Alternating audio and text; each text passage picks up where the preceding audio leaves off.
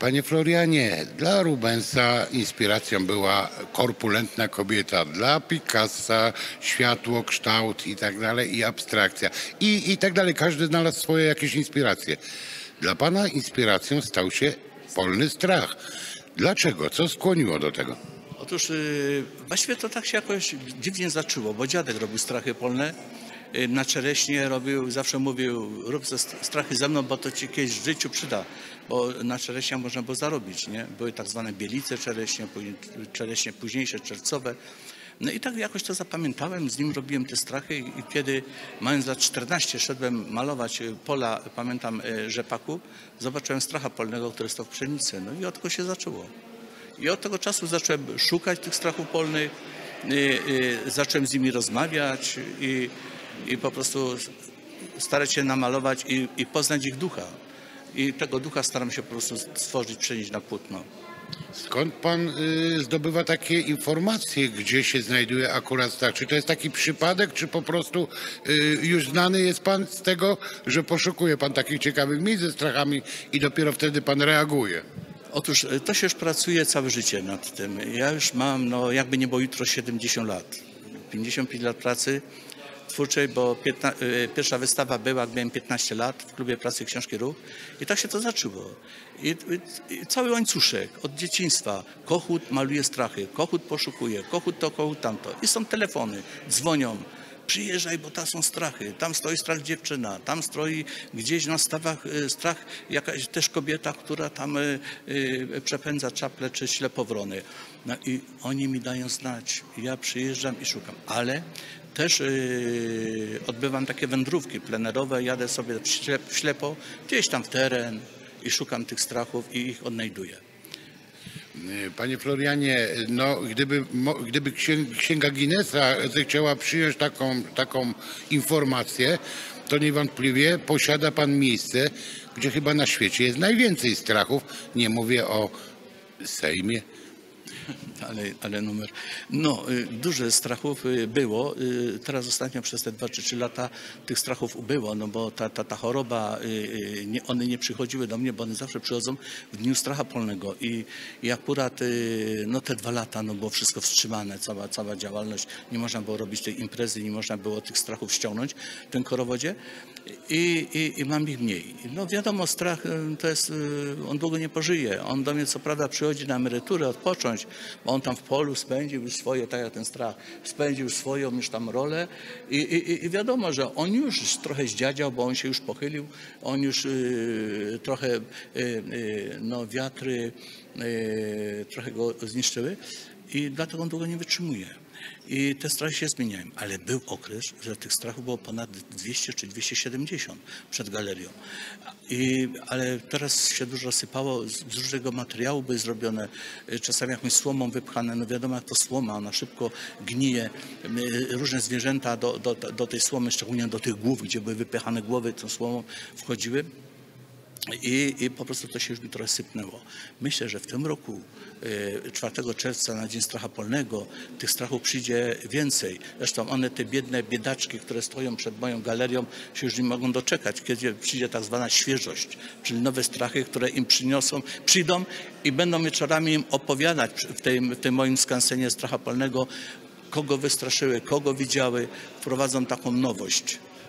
Y, Mówimy o y, święcie stracha polnego, o korowodzie stracha polnego, który odbywa się zawsze w Rudzicy. Rodzice w pierwszą sobotę czerwca każdego roku, ale tak jak powiedziałem, te dwa lata wstecz, no niestety nie było z powodu tej choroby, która panowała.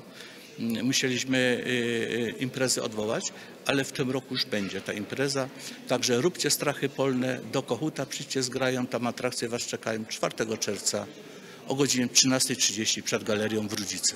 No, często uczestniczyliśmy właśnie w tych korowodach i no, te korowody praktycznie są znane w całej Polsce i nie tylko mieszkańcy w nich uczestniczą, ale również liczni widzowie. Tym bardziej, że później kończy się to wszystko bardzo fajnym festynem i taką taką rodzinną imprezą, czyli coś dla ciała, coś dla ducha. Tak, to, to jest dla wszystkich. Począwszy i dla tych starszych, i dla tych dzieci, dla tych najmniejszych. Yy, Po prostu chodzi o to, żeby, żeby ten strach stworzył koło siebie taką e, pewną legendę, żeby zachęcić, żeby, żeby po prostu, no bo najlepiej, najlepiej to wziąć, pozakładać dużo kół łowieckich, kupić strzelbę, flintę i wszystko to wystrzela te zwierzęta. A rzecz polega na tym, żeby jednak pogodzić. Przyroda jest najpiękniejszą boginią świata. Jeżeli my pewne, pewne y, y, no, zwierzęta czy elementy z przyrody wy, wyrzucimy, wy, wy tego, to tego nie będzie. Strach jest w ogóle pomnikiem, doskonałą rzeźbą, jest królem pola. Król, który ma ducha w sobie. Zresztą wszyscy ze strachem y, mogą porozmawiać i on na pewno będzie wdzięczny i im się kiedyś odwdzięczy. Gdybym mógł tak, takie, z takimi kryteriami się posłużyć, to praktycznie y, widok stracha polnego, uwidocznionego na Pana e, obrazach, kapliczki, prawda, bo to nie tylko strach, ale również stare kapliczki i tak dalej, to jest właśnie chyba ta, takie, takie sedno twórczości ludowej. Czy Pan się poczuwa jako ten artysta taki bardziej ludowy, czy, czy, czy artysta malarz, który po prostu maluje, bo, bo lubi? Tak, y, po prostu to jest moje powołanie, jak ja to zawsze mówię, ja się urodziłem z tym, no nie wiem, y, w, w mojej rodzinie żaden nie był malarzem, pochodzę z rodziny chłopsko-robotniczej, Y, natomiast y, to jest taka moja potrzeba wewnętrzna. I to, że, że maluję, że maluję sakramentalne, no, sakramentalne, no jakieś tam religijno-kościelne, jakieś tam tematy, to y, tylko dlatego, że staram się uchwycić daną chwilę. Staram się po prostu, no bo kto jak to y, może przekazać, ten, kto już przeżył coś, y, te, te wszystkie, nazwijmy to procesje, nie procesje, jak to hańdownie bywały, te odpusty, nie odpusty. Y, y, My po prostu kiedyś odejdziemy I- i, i, dobrze, jak to zostanie utrwalone na płótnie. Ja, ja po prostu chcę jednocześnie być takim, jak to się mówi, archiwistą, czy utrwalać archiwalnie pewne fragmenty z mojego życia. Dlatego często y, y, piszę, mówię wspomnienia z lat młodzieńczych, dziecinnych, czy to, czy to te procesje, tak jak powiedziałem, czy też y, wozy cygańskie, cyganie, cygony się mówi na Śląsku Cieszyńskim, którzy przyjeżdżają, Romowie przyjeżdżali właśnie tutaj z, od strony Krakowa przez Kętę Andrychów szli na Rudzice, a w Rudzicy właśnie między innymi spotykali się, zatrzymywali się, rozbijali swoje namioty i, i tam przebywali. Ja to pamiętam jako dziecko, bo hasło było pilnujcie kury. I myśmy pilnowali kury. Ja to staram się po prostu e, utrwalić, namalować w, w tych swoich e, put, płótnach. No, dziś prawdziwych cyganów już nie ma, prawda? Jak to śpiewała artystka, i, inne są też. I, Inne cygony. No tak, ale, ale też inne stały, stały się at- atrybuty takie romskie. Już nie koń i, i, i, i cygański wóz, a raczej Mercedes 500. Dokładnie, dokładnie tak jest. No, a y, mówię, no, cieszę się, że akurat doczekałem się e, tej mojej siedemdziesiątki, nazwijmy to, że doczekałem się, że mogę pokazać tę pracę w tym pięknym muzeum. E, Nigdy w życiu, w życiu bym nie przypuszczał, że ja tutaj się dostanę do, do, do muzeum, że mnie tu pokażą i że mogę pokazać właśnie to wnętrze. Jest to jedna, właściwie bym powiedział, jedna dziesiąta tego, co mogę pokazać, bo mogę pokazać naprawdę jeszcze dużo. Mam dużo y, zgromadzonych różnych y, akwareli, pasteli, które no, nie są prawione, leżą gdzieś tam. Y, Natomiast, tak jak powiedziałem, Często wracam, nie wiem, czy to ze względu, jak to mówią, PESEL, wracam wiekowo do lat młodzieńczych, dziecinnych i mam dużo tematów zaczętych, między innymi serii odpustów rudzickich, czy też cyganów, jak to mówią, jak to w Rudzicy pod Pałą grali mm, i śpiewali. I staram się po prostu to, to utrwalić. Czy zdążę jeszcze, kurczę, w życiu to Na pokończyć? pewno pan zdąży. Panie Florianie, no, sądząc po, po ilości pokazanych dzieł na, na tym właśnie wernisażu, a również odwiedzając kiedyś pana galerię i te, te dziesiątki, dziesiątki pięknych obrazów, klimatycznych obrazów, yy, w jaki sposób można zdobyć te obrazy? Czy to są galerie, czy tylko w Galerii Stracha Polnego w Rudzicy? Jak się kontaktować? Czy gdzieś w Polsce, czy gdzieś na świecie?